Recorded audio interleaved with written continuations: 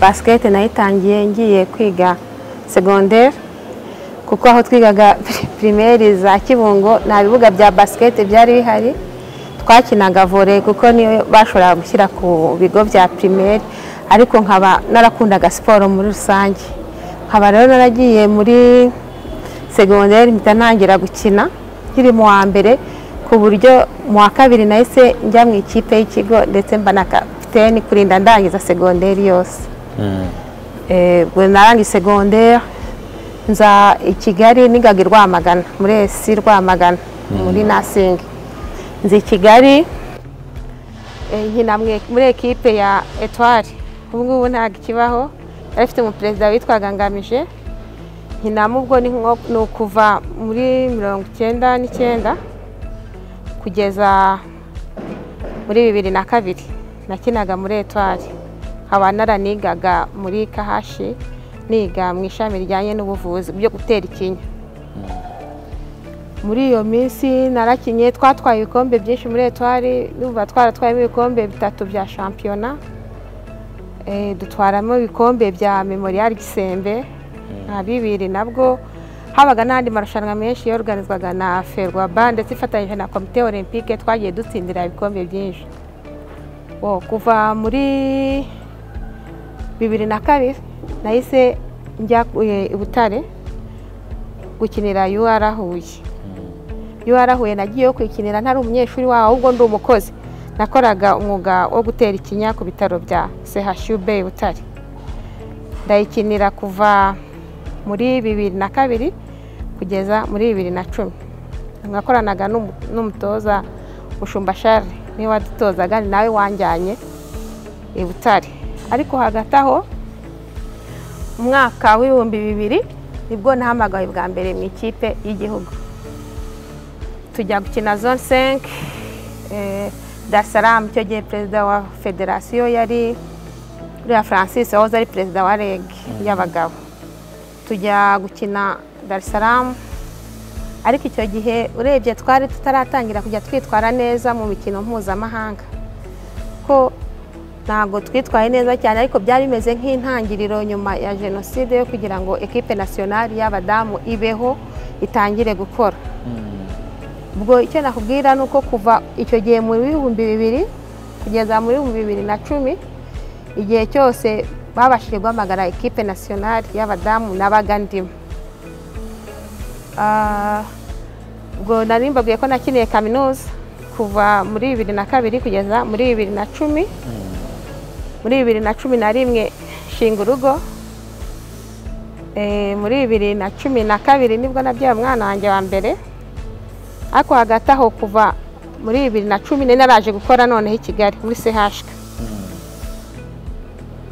bisa nkaho nari mpagaritse nka basiketi ariko maze gushinga urugo ni ho nko muri bibiri na cumi na rimwe nkitwite inda yanjye ya mbere ni ho twicaye turavuga hari mu kwa cumi.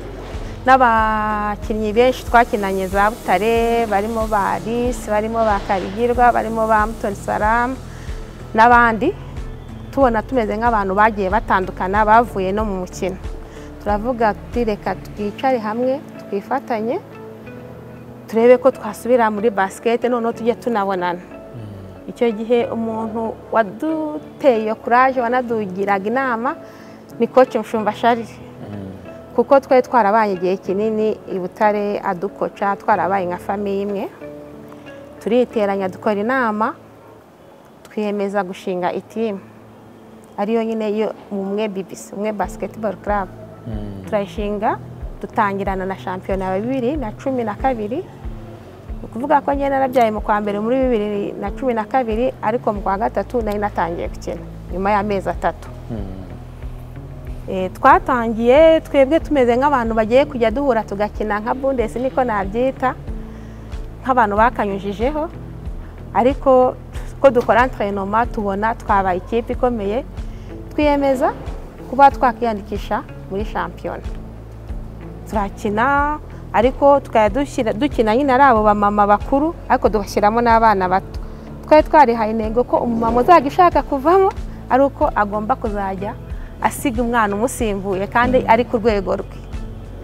Ku byo n'abo bana twabaga twashyizemo ni twebwe twabafataga nshaje ku bijyanye n'amatike ku bijyanye n'amaminerivare tukabafasha nkatwe nk'abamama bakuru ariko natwe tunakina. Kuba ikipe yaje gukomera muri bibiri na cumi na kane twatwaye igikombe cya shampiyona ndetse n'icya play off icyo gihe habaga cya gihe hari hakibaho bagitanga ibikombe bibiri. Ubwo ndi kuvuga ko twari tukiri mu bumwe tugikina ariko tugenda dushyiramo n'abana batoya.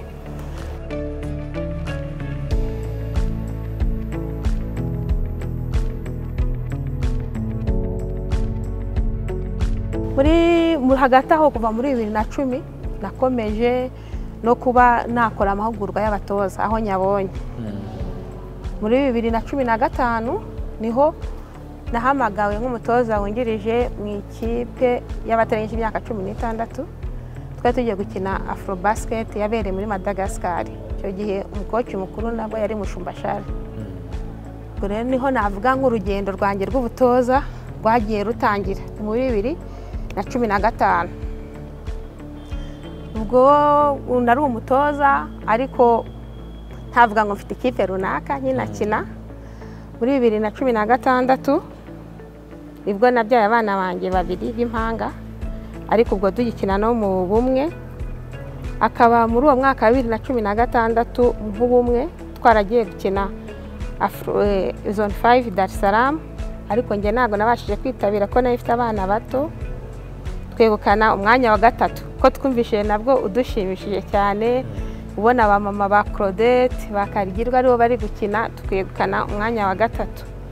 Byasaga nk'aho dutangiye noneho kujyamo neza cyane cyane mu mikino mpuzamahanga.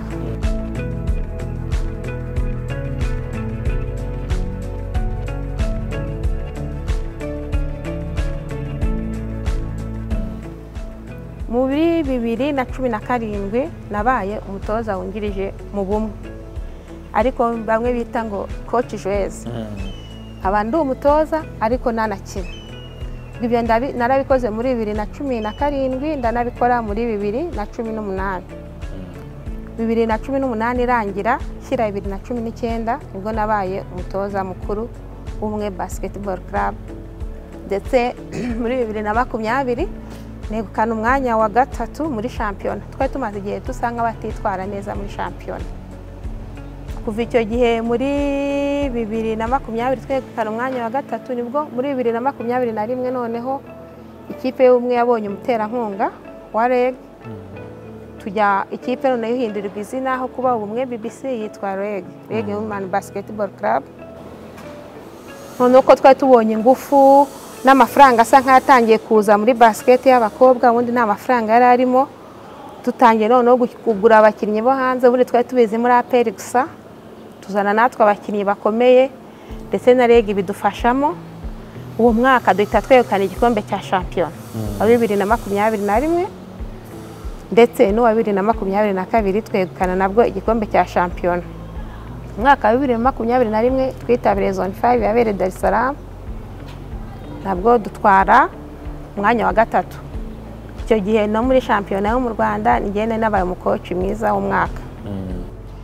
Muri bibiri na makumyabiri na gatatu twabaye aba kabiri muri shampiyona ndetse tuba n'aba kabiri muri zone fayive akaba ariyo mateka navuga twari dukoze atari asanzwe kuko ni ubwa mbere ikipe y'abadamu yo mu rwanda yari igeze ku mukino wa nyuma wa zone fayive tukabasha nyine kubona iyo tike yo kujya gukina afro basiketi uretse ko ubu ngubu yahinduriwe n'izina ntabwo icyitwa cyitwa afro basiketi sinzi nimba mubizi isigaye yitwa wimeni basiketi wimeni afurika afurika wumeni basiketiboro ligue tukaba twarabonye iyo tike tutagiye kuri wiridi kadi cyangwa se tutagiye kutumira.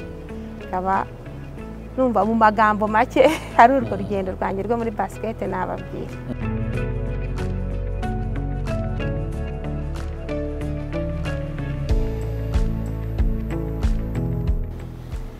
ukuvuga ngo ibintu byose cyane cyane uri umusiporutifu ni ukwiha gahunda. Kuko ngewe wenda nta muntu wikorera evaluation. Ariko uje muri sashika mu bantu dukorana cyangwa mu bashefu banjye bakubwira ko ndi mu bakozi b'inyangamugayo. Ugiye mu bashefu banjye bo muri basikete bakubwira ko ndi mu bakozi b'inyangamugayo. Ni ukuvuga ngo ikintu cyose ni ukwiporogaramu. Hari igihe abantu duta umwanya mu bintu bitari ngombwa ariko ngewe umwanya wanjye nkuta mu bintu biri ngombwa. Ndagenda nimba uwo munsi nawe hari esehashi menya yuko ndi bukoreye wenda kuva iyo saa moya kugeza iyo saa kumi n'imwe menya yuko ngomba gukora ibindeba kandi nkabikora neza nkabitunganya ku buryo urabizi ko ujya wumva bafunze abantu gutya ariko ngewe atari ukwirarira kuva muri bibiri na kabiri ntera ikinya ntabwo navuga wenda ngo hari agisida y'uburangare irambaho. Nta n'imwe kwa muganga.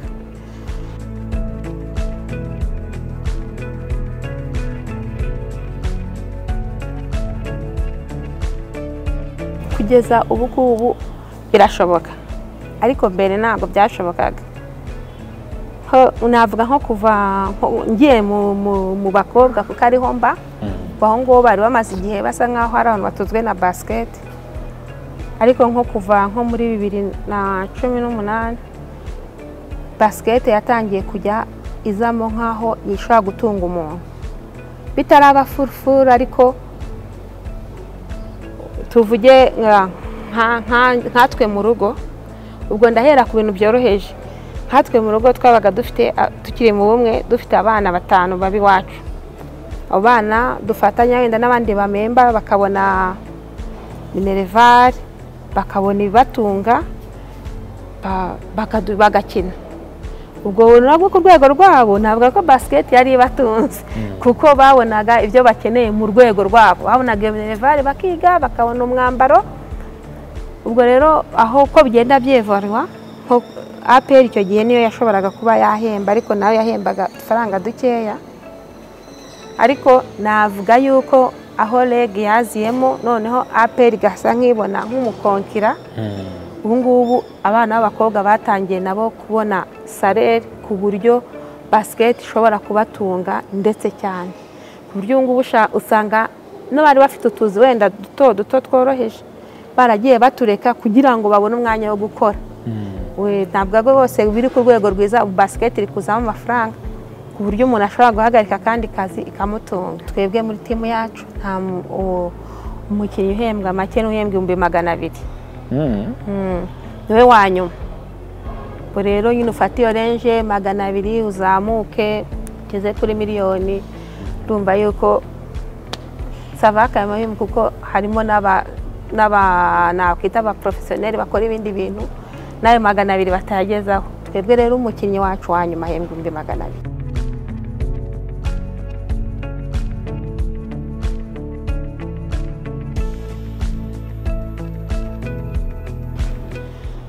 Ntabwo akizirezire zatewe no gukora cyane kw'abantu cyane cyane uhereye kuri ferwaba kuko niyo tureberaho. Yagiye yorganiza amakampu menshi ay'abakinnyi ay'abatoza ndetse hakaba n'abatoza basigaye babona amahirwe yo kujya gukora amahugurwa muri amerika. Navuga ko cyane cyane ko yeferwa ariyo mbona kubona na yo yarashyizemo imbaraga nyinshi. Bigatuma basiketi ibasha gutera imbere. Nabishyira urebye kuri ferwaba kuko ferwaba iyo ikoze noneho n'amakrebe na yo aboneraho umwanya wo gukora. Hakaba hazamo iyo kompetisheni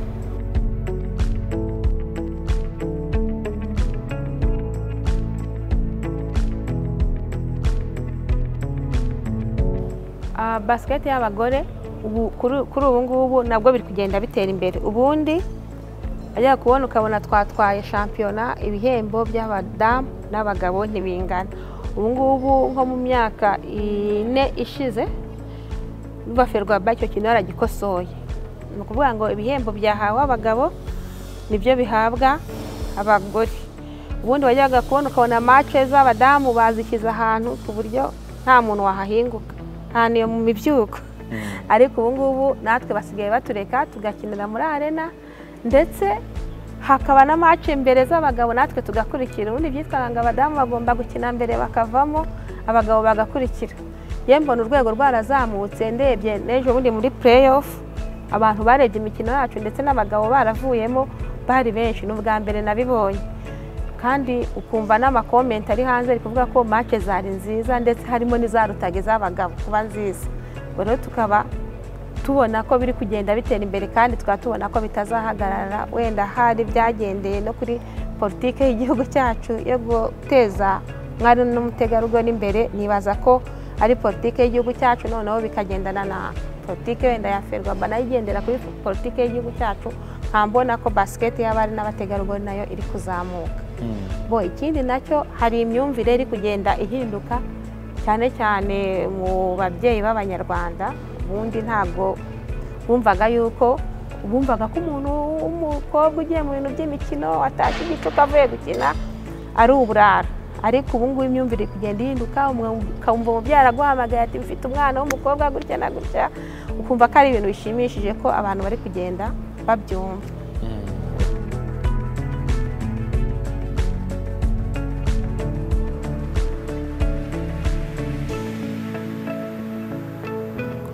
Koci mushumba yabivuze kuko urumva ngewe yarankoce igihe kinini.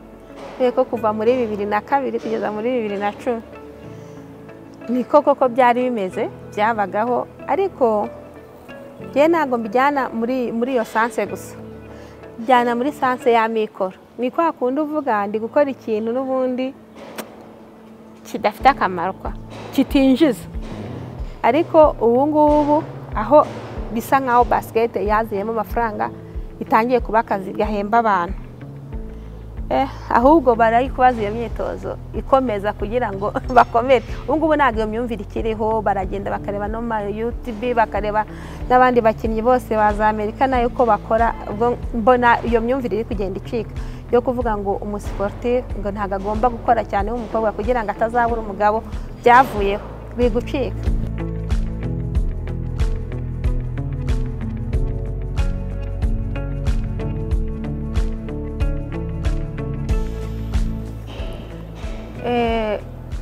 njye ntabwo twemera nko kuvuga ngo abanyamahanga byo byose bari bane mu bakinnyi cumi na babiri ntabwo wavuga ngo ikipe ni abanyamahanga gusa. Gusa nk'uko bavuga ko siporo ntabwo igira umupaka. Ngewe ntabwo nemerana n'abantu bavuga yuko politiki ngo yo guheza abanyamahanga ari ituma ngo abenegihugu batera imbere.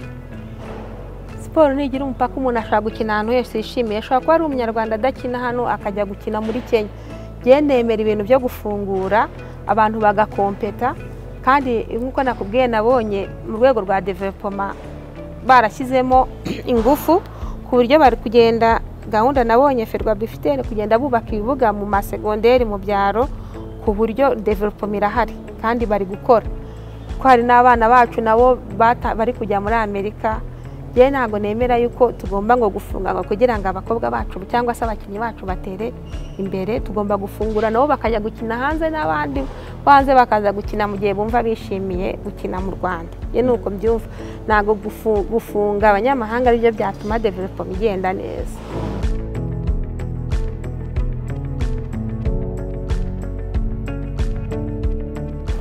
Iyo ngendeye kuri sezi ishize ekipe ya batanu nakora.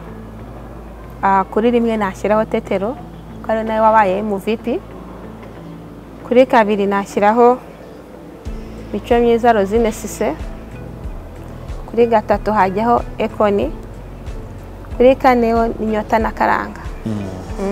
Kane nyota gatanu karanga.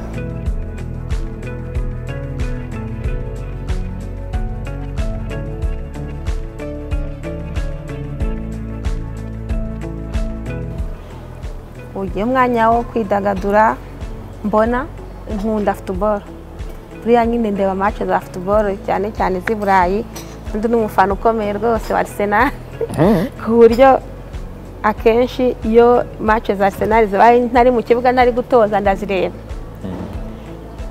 Byo kwidagadura bibaye ngombwa na famiye turasohoka tukajya ku mazi tukishimana. Nanjye ndi umuntu widagadura ukunda kuryoshya. Nta kibazo njya ngira.